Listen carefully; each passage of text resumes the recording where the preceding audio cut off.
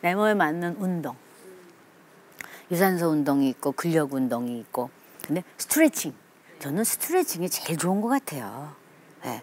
근데요 제가 팔상 체질을 한동안 했었어요. 지금도 합니다. 팔상 체질이 뭐냐면 우리 사상 체질 알고 계시죠? 뭐 소양소음, 태양태음.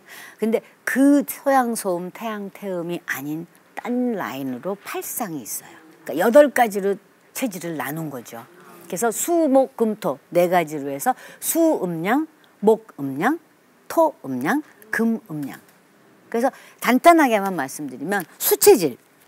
수체질은 어, 바다 종류를 드시고 고기 종류도 드시는데 크게만 이제 말씀드릴게요. 여러분들 스마트폰 다 아시죠? 다 인터넷 다 할 줄 아시죠? 팔상체질 한번 집에 계신 분들도 팔상체질 한번 들어가 보세요. 참 재밌습니다. 저는 거의 시작한 지가 한 10, 한 7, 8년이 더 넘었으면 넘었을 거예요. 그래서 제가 그렇게 반주 먹으면 오래 산다고 그래서 반주 먹어서 오래 사는 게 아니고 나름대로 음식, 그다음에 거긴 과일까지 쪼개지고 비타민까지 쪼개져요.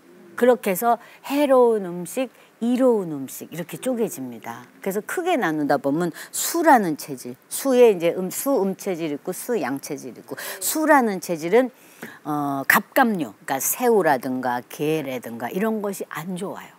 그러니까 좀 덜 드시면 돼요. 아주 안 잡순다는 게 아니고 또 목체질, 목체질은 채소, 바닷걸 먹으면 안 돼요.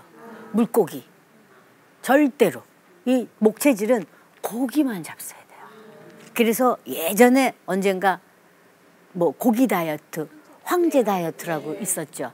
근데 그거는 내가 그 팔상 체질을 뭐 공부하고 따라하다 보니까 목 체질이 황제 다이어트 하면 큰일 나겠더라고요. 아니 목 체질이 저 저 금 체질이 뭐 이제 막 섞입니다. 근데 목 체질은 고기만 먹어야 돼요. 그러니까 목 체질은 황제 다이어트를 해야 하는 사람이에요. 목 체질은.